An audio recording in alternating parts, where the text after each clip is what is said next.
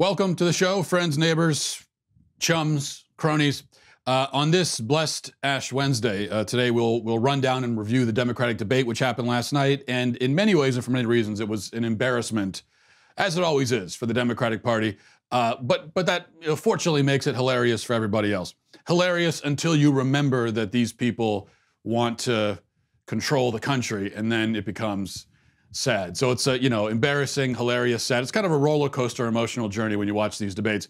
Also, speaking of the Democratic Party uh, and embarrassments, they yesterday blocked a bill that would have prevented clinics and hospitals from leaving babies born after botched abortions to die.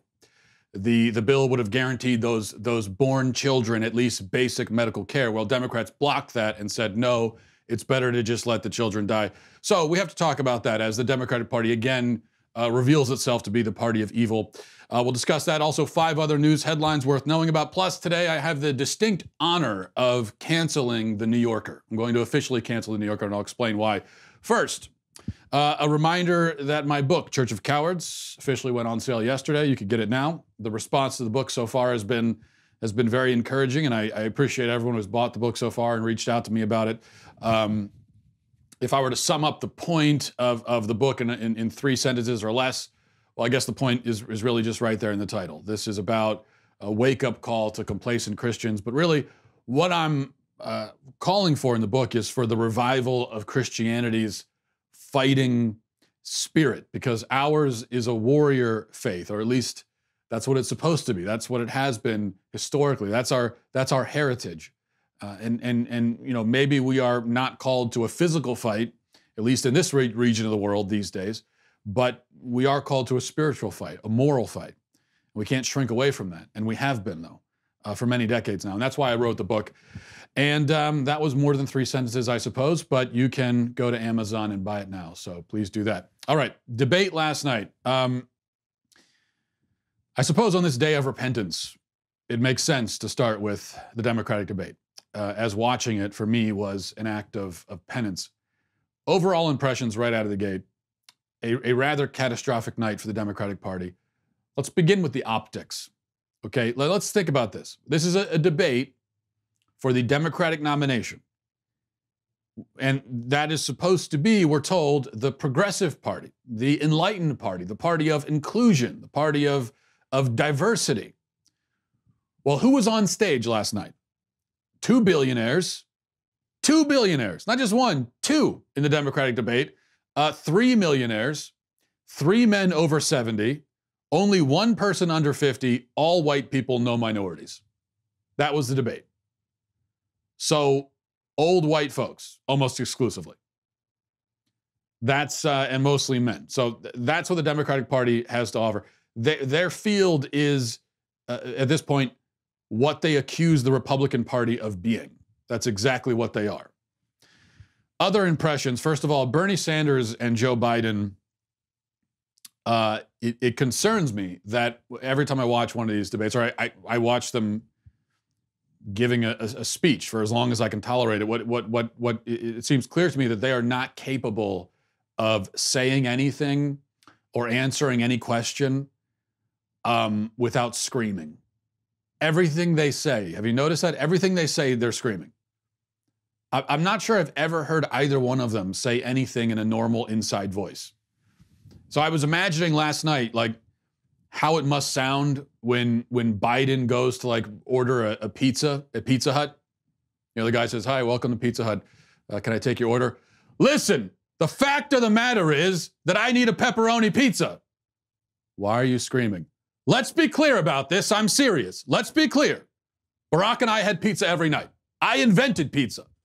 I passed the legislation that makes it possible for you people to eat pizza. I'm serious. That's, that's Joe Biden's answer to every single question. Let's be clear. I'm serious. Barack, listen, and the fact of the matter. That's every, it's just a, it's a combination of those words screamed. Uh, and of course, in Bernie's case, not only does he scream every answer, but he's also incapable of uttering a sentence that doesn't include the word billionaire. Uh, now, it, now, he used to have a lot more range in his vocabulary because he used to talk about millionaires and billionaires. So he used to have two words he could say. But then he became a millionaire, and so he doesn't want to rail against millionaires anymore because he is one. Uh, and and so now it's just billion. Now he's now he's limited to just one word.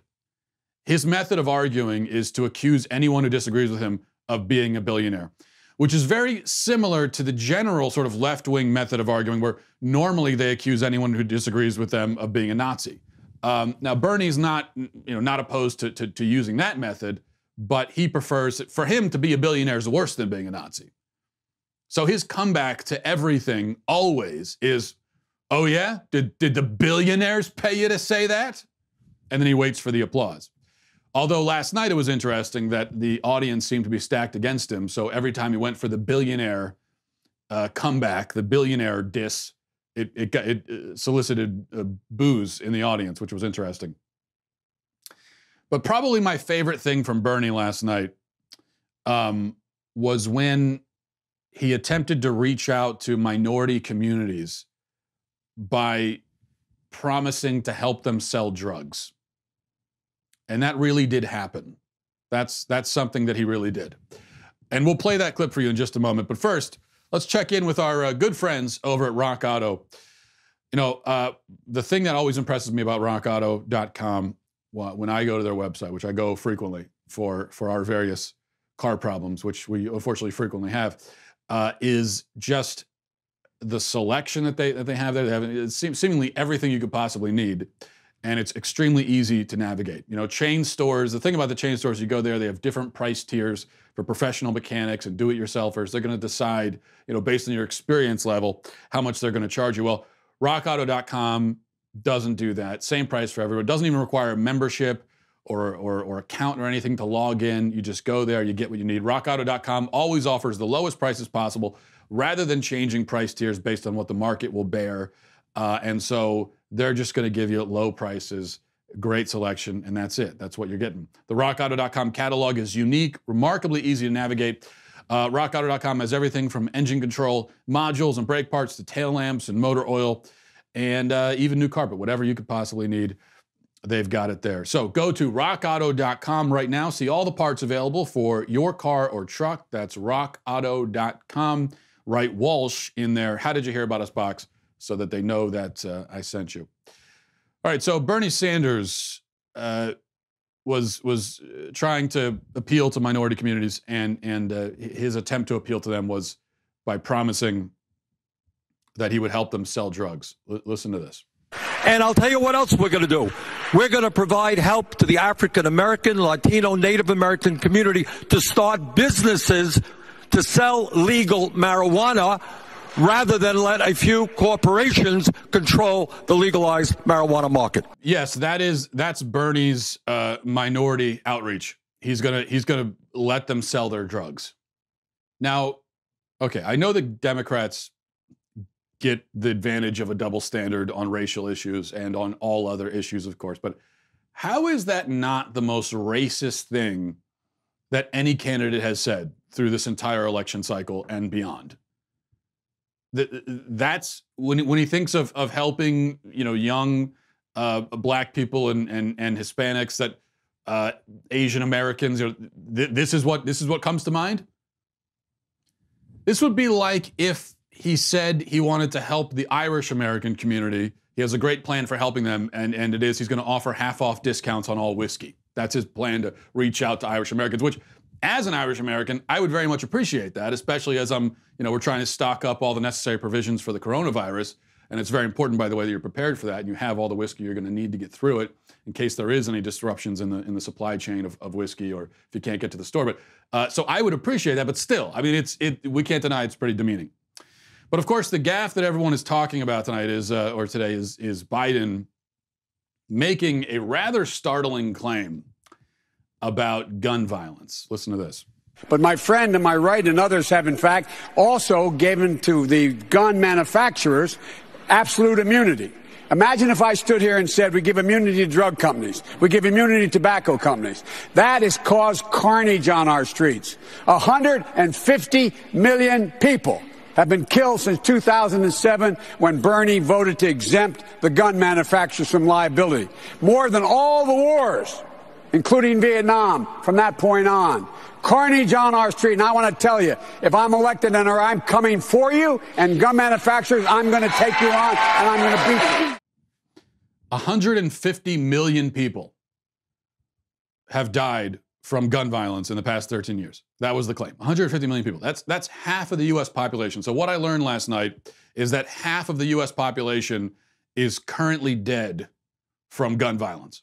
Which I guess the the bright side of that, I mean if there can be a bright side to 150 million people dying, the bright side is that now fewer people will die from climate change. So when climate change kills us all in 10 years or 9 years or whatever it is, uh, now there's just the devastation will in some ways be lessened by the fact that most of us will have already died from being shot. So, I mean, I, look, I'm trying to find a silver lining around that cloud, uh, and that's the best I could do.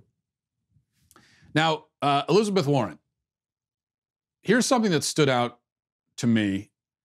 Uh, she she launched into an attack on Bloomberg, and this seems to be her main focus is attacking Bloomberg for some reason, even though Bloomberg hasn't won, hasn't even contested it hasn't even been in the contest yet for any of the, any of the primaries up to this point.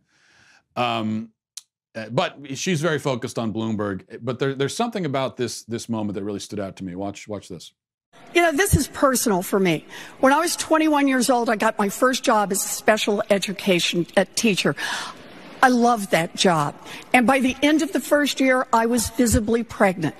The principal wished me luck and gave my job to someone else. Pregnancy discrimination, you bet. But I was 21 years old. I didn't have a union to protect me, and I didn't have any federal law on my side. So I packed up my stuff and I went home. At least I didn't have a boss who said to me, kill it. The way that I Mayor Bloomberg never alleged said that. to have said to one of oh, his pregnant employees. Okay, now, of course, the story she's telling there about pregnancy discrimination is bogus, of course. It's been debunked, like almost everything else she says. She's a pathological liar. She can't help herself. She lies. Uh, it's a compulsion. She can't. She can't stop herself from doing it. She lies like she breathes. But that's not that's not the part that was interesting to me. At the end of the clip, there, she accuses Bloomberg of telling a pregnant mother to kill it, being the baby. Now, I don't know if Bloomberg said that or not. He denies it. Who knows? Sounds a little far fetched, but but maybe he said it. That's not the point. Here's my question Why does she have a problem, Warren, that is, with somebody suggesting that a woman kill her baby? Warren is radically pro abortion. In fact, radically pro infanticide, as we'll talk about in a few minutes. From her perspective, the baby is not human, has no right to life, has no dignity, has no moral value, has no value of any kind. Why shouldn't Bloomberg say kill it? What's the problem? What exactly is the issue? I mean, uh, you know, I know what the problem is, of course. Hopefully, you know what the problem is. But then again, I'm against killing babies in general. So, of course, I can be against that, about, against what he said allegedly. But Warren is in favor of it. Not just in favor of it, but she believes that killing babies is not just that it's okay, but that it's a liberating act. It's a it's a it's an expression of a woman's autonomy and independence. So all Bloomberg was really suggesting is that a is that this woman express her autonomy and independence. He didn't say kill it. He said express your autonomy. It was empowering. It was a it was an, an empowering encouragement to this woman. Um, not to be enslaved by the the subhuman parasite in her body. From Warren's perspective, that's what it was. See, but it's it's hard to be consistent, to be intellectually consistent when you're pro abortion because it means that you have no basis, no reason to get upset about something like what Bloomberg is alleged to have said. But at the same time, you know that what he said, allegedly, is cruel and awful. So you want to be against it. You want to be outraged by it, but you can't be. Because to be outraged by it is to admit that killing babies is a moral outrage, which is exactly what you cannot admit. Uh, speaking of morally outrageous, Bernie Sanders last night was again stumbling and, and bumbling around, trying to justify all the, the very nice and admiring things that he said about communist regimes like the one in Cuba uh, or the one that was in uh, uh, communist or uh, Soviet Russia. So I want to play a clip for you, uh, not from last night, but from the night before at a town hall on CNN, where he's again going into the wonders of, of communist governments. Uh, and then we'll talk about it. Watch this. The response was when Fidel Castro first came to power, which was when? 59? Does that sound right? 5960. Okay. You know what he did? He initiated a major literacy program. There was a lot of, uh, a lot of folks in Cuba at that point who were literate. And he formed the literacy brigade. You may read, read that. He went out and they helped people learn to read and write. You know what? I think te- teaching people to read and write is a good thing. I have been extremely consistent and critical of all authoritarian regimes all over the world, including Cuba, including Nicaragua, including Saudi Arabia, including China, including Russia. I happen to believe in democracy, not authoritarianism. But, you know, you can't say China is another example. All right? China is an authoritarian country, becoming more and more authoritarian. But can anyone deny? I mean, the facts are clear that they have taken more people out of extreme poverty than any country in history. Do I get criticized because I say that? That's the truth. So that is the fact. End of discussion. So, end of discussion, he says. Not really. We will discuss what he said in a moment. But first, uh, checking in with ExpressVPN. You know, it, it seems to me that using the internet without a VPN, it's a bit like going to the bathroom without closing the door. Which, if if you're like me and you you live through most of your early 20s by yourself, and you got very used to doing that, but then once there's other people around, you can't do it anymore. It's it's you're exposing yourself. Why would you allow yourself to be exposed in that way? Uh, well, that's what it's like when you use the internet without a VPN. Did you know that your internet service provider knows every single website you visit, whether it's Comcast or Verizon, whoever you use? They know everything about you, basically. They know all of your internet activity. And what's worse is they can sell this information to ad companies and tech giants who will use your data to target you. So you're being exploited as well as exposed, and all of your private information is out there. ExpressVPN puts a stop to this. It creates a secure encrypted tunnel between your device and the internet so that your online activity can't be seen by anyone. ExpressVPN works on everything phones, laptops, routers. So everyone who shares your Wi-Fi can still be protected, even if they don't have ExpressVPN. Best part is using ExpressVPN is in, as easy as, uh, as closing the bathroom door. It's just it's that simple. So if you're like me and you believe that your online activity is your business, you should have that privacy. Secure yourself by visiting expressvpn.com/walsh today. Use my exclusive link. That's expressvpn.com/walsh. You get an extra three months for free if you use that URL. That's expressvpn.com slash Walsh. Okay, um, so Bernie extolling the virtues of communist regimes.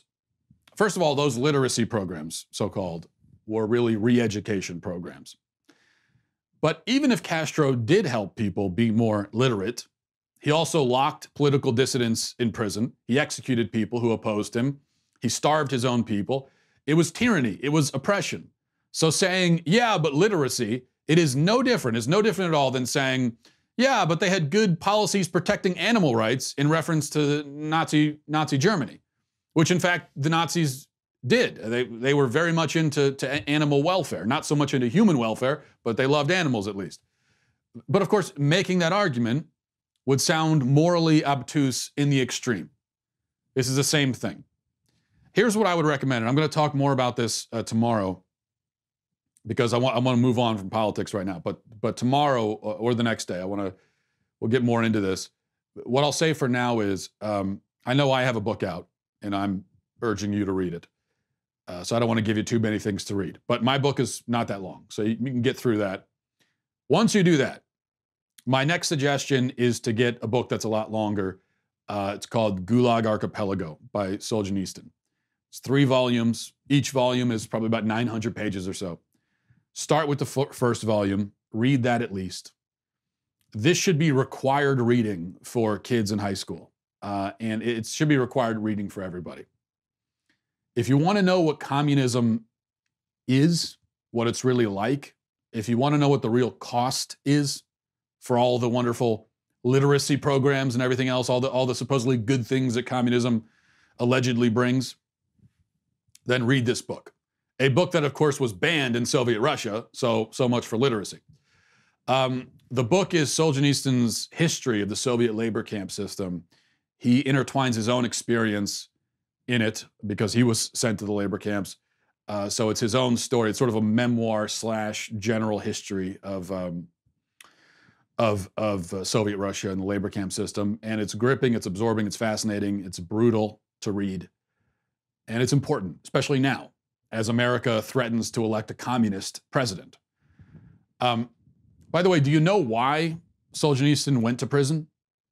Because he fought in World War II for the Soviets.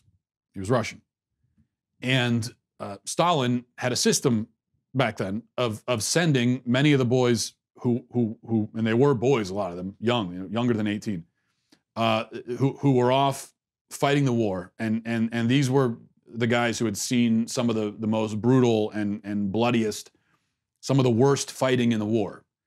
Um, after they'd gone through that, uh, for the sake of their country, their thank you when they got home was many of them were shipped off to labor camps. Why is that? Because Stalin was was worried that they'd been exposed to Western ideas.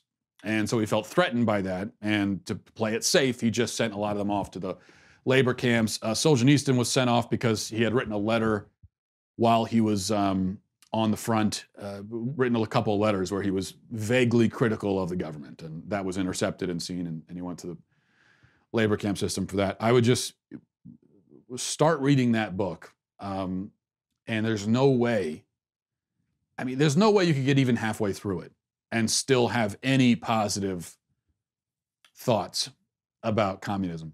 We'll talk more about this uh, that this week because uh, there's a lot in that book that I think is is very instructive.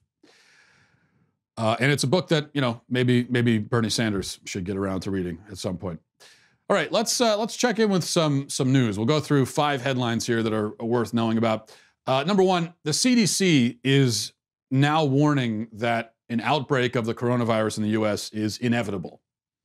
And we should prepare for significant disruptions to our daily life. That's, that's the words they're using.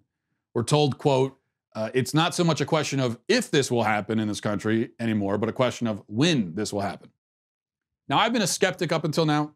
I've, I've seen the media hype up these epidemics many times. I've seen so much unnecessary panic over so many things that I thought this was another one of those things. It appears I may have been wrong. Uh, this is the time when, you know, the boy crying wolf, the boy's crying wolf, and maybe there actually is a wolf this time. Um, now, I still think there's no need to panic. I still think um, we should keep in mind that the death toll of this virus has a lot to do with the fact that it started in China, where their healthcare system is falling apart. I mean, their hospitals are literally falling apart, are in shambles. Um, so we're basing the, the, the, the death toll on that, the mortality rate we're basing on that. And uh, so I think that's something we should keep in mind. It's also true, though, that the CDC doesn't generally say stuff like this for no reason. So perhaps it would make sense to take some precautions. In fact, my, my wife last night, we were talking about this, and uh, she started buying supplies we, we both agreed that you know maybe you get if if the CDC is saying there may be some disruptions to your daily life, uh, maybe disruptions in the supply chain. There's you know if you're not able to get out of the house, if there's quarantines or something, that it makes sense to have some um, preservable food and, and stuff like that in the house. Uh, so my wife, my, my wife was buying a few things. She started buying freeze dried meats, and I, you know, I said to her, why why can't we get regular meat and freeze it? And she said, because we have a, an extra freezer in the garage. And she said, Well, if the power goes out. And I said, Why would the coronavirus cause the power to go out? And she didn't really have a response for that, but that didn't dissuade her. So she uh, got all that. I guess we're now preparing for the end of human civilization as we know it, which, for the record, I, I still insist that human civilization is not coming to an end over this, but uh, a little preparation is probably smart. Okay, number two, a video that's um, gone viral out of the hellscape known as San Francisco shows a black man stealing cans from and attempting to assault an Asian man while a group of people stand around laughing. And the guy filming cheers it on and says, I hate Asians. Uh, watch, watch this. Look, uh oh, he's scared, OG. Crack his You hear that? Get your That nigga made a good honey.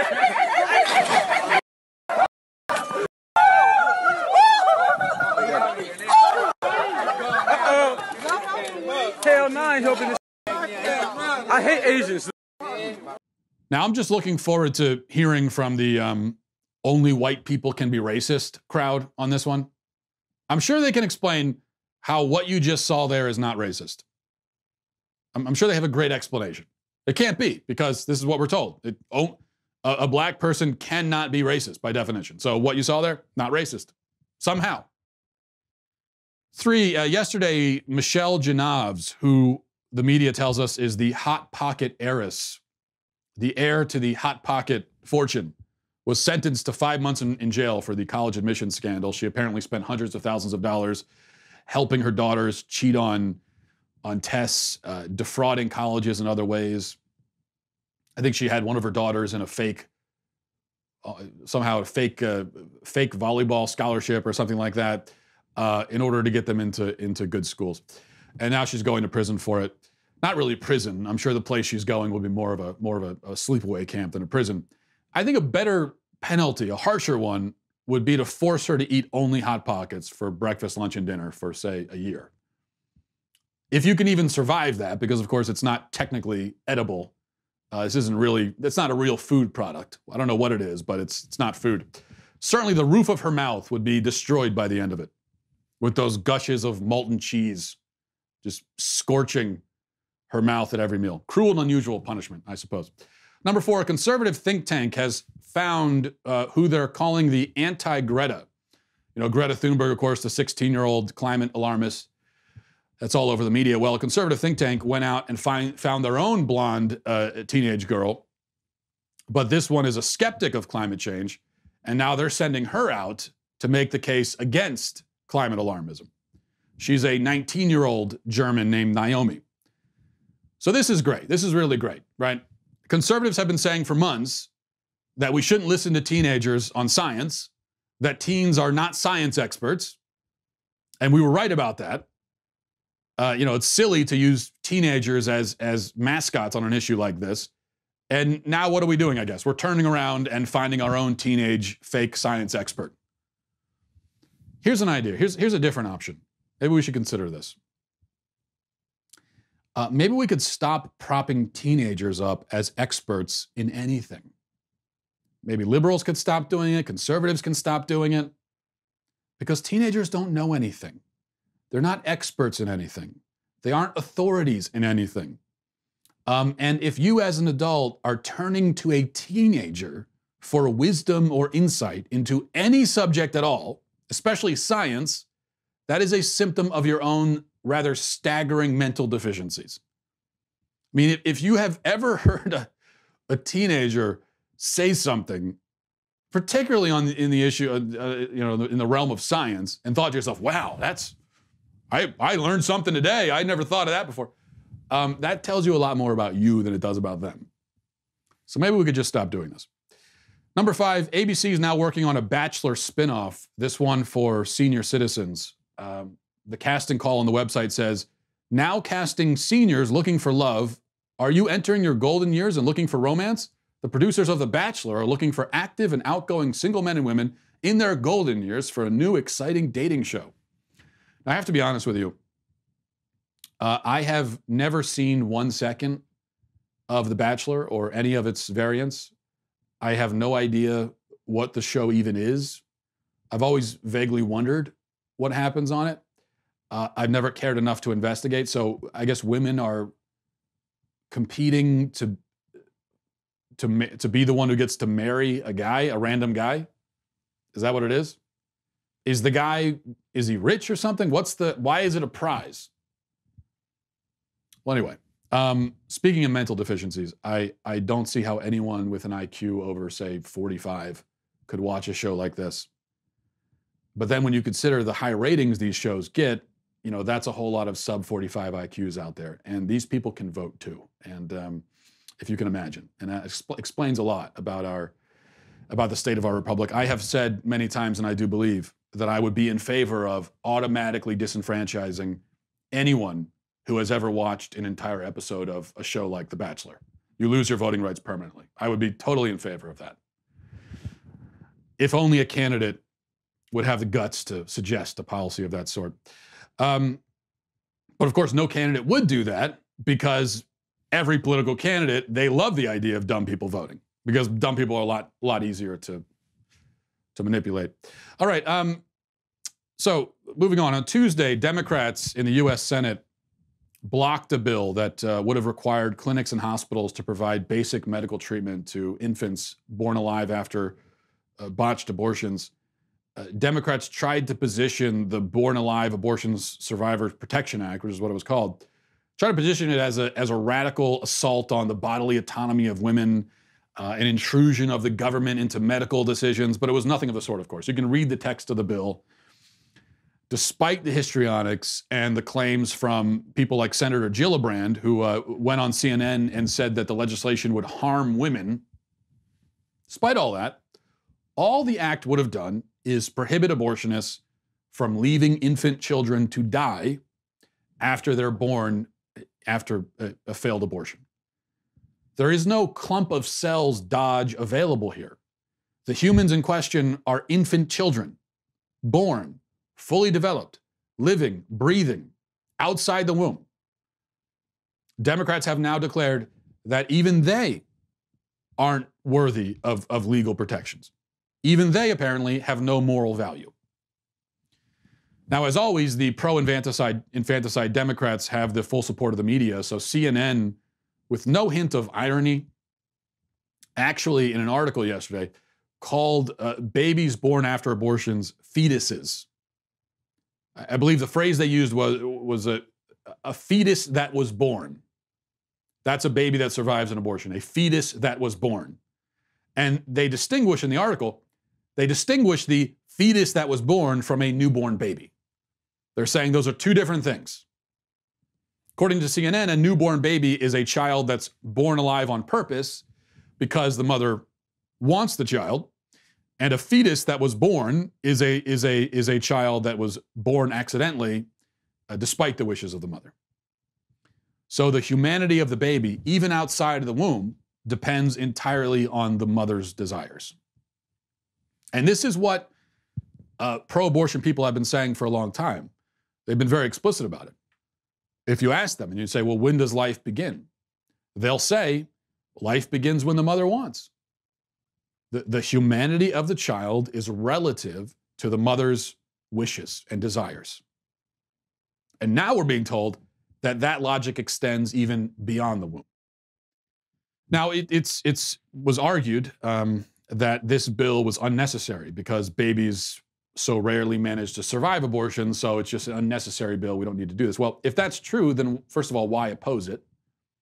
And why claim that it's an attack on women's rights? So you can't have it both ways either it's an unnecessary, redundant bill, or it's uh, it's a, a, terrible assault on on on the, the the rights of women, or neither of those things. Of course, that it's neither of those, but it can't be both of those things.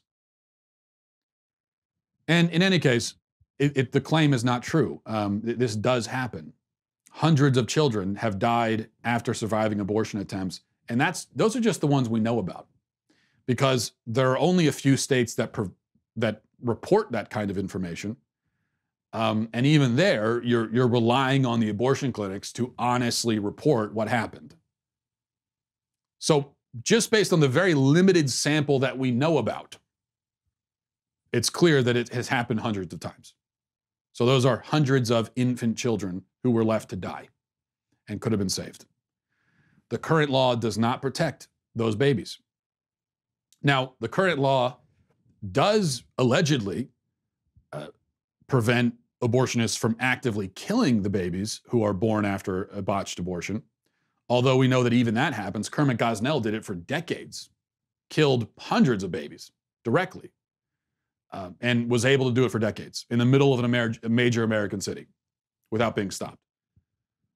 But allegedly, the, the law stops that. But the law does not require that um, d- doctors, uh, you know, hospitals, clinics provide basic medical treatment to the babies. So what they can do is just set the baby aside and let the child die.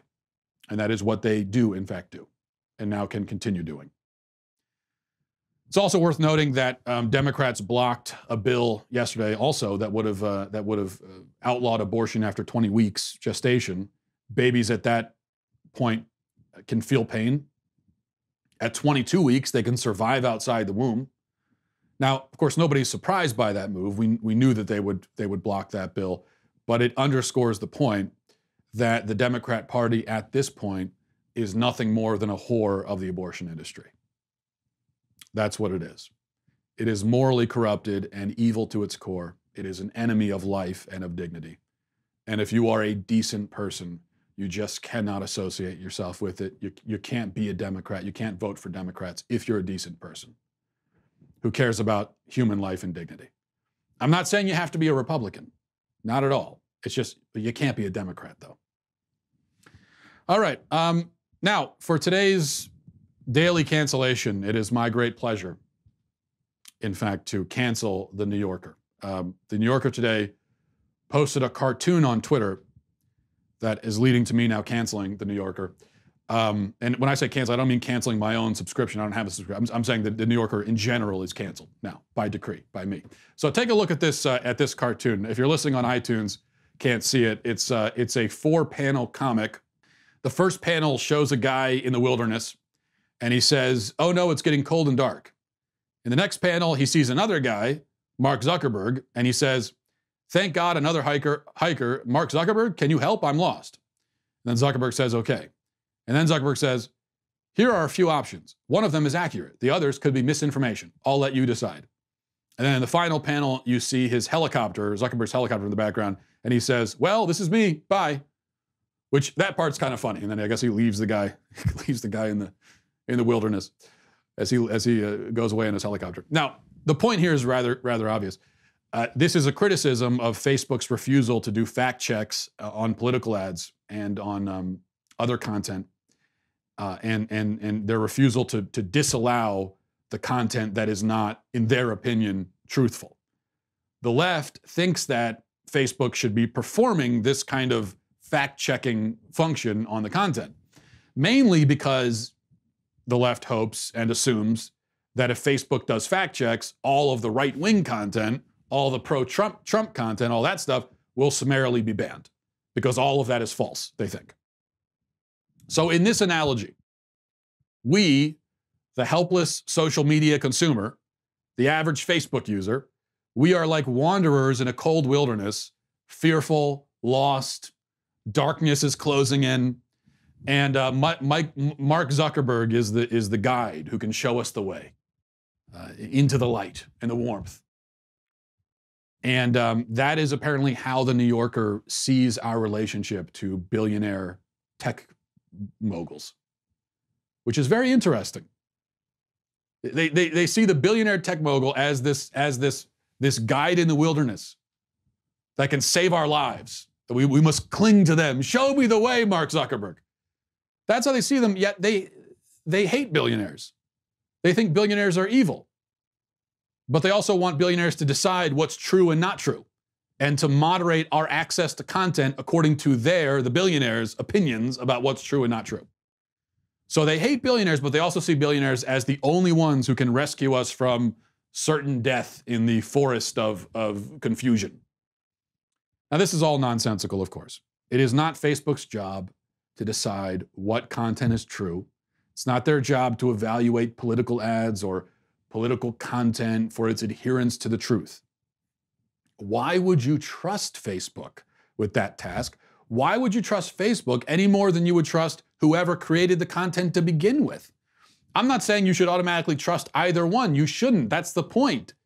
Yes, you should make up your own mind. So, in this case, in this particular wilderness of the internet, uh, yeah, you should be given options and you can make up your own mind. Uh, you, you, you shouldn't want the billionaire in the helicopter to rescue you and make it easy. Um, in fact, when it comes to deciphering this stuff, uh, you, you, know, and, and, deciding what's true and not true, it, is better for the hiker to make up his own mind. because the other option is to trust Mark Zuckerberg blindly and to go where, wherever he points. And that would be foolish. So this is a very dumb cartoon. And a very, uh, not just a dumb point, but one that contradicts what we normally hear from places like the New Yorker. And that is why the New Yorker is now canceled.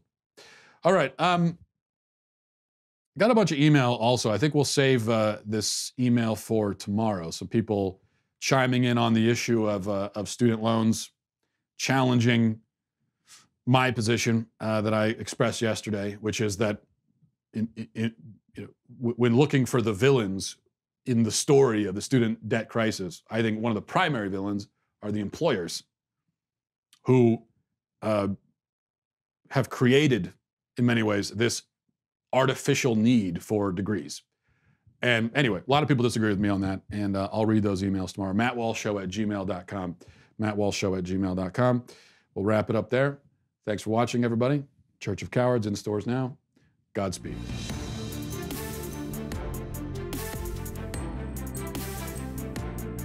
The Matt Walsh Show is produced by Sean Hampton, executive producer Jeremy Boring, supervising producer Mathis Glover, supervising producer Robert Sterling, technical producer Austin Stevens, editor Danny D'Amico, audio mixer Robin Fenderson.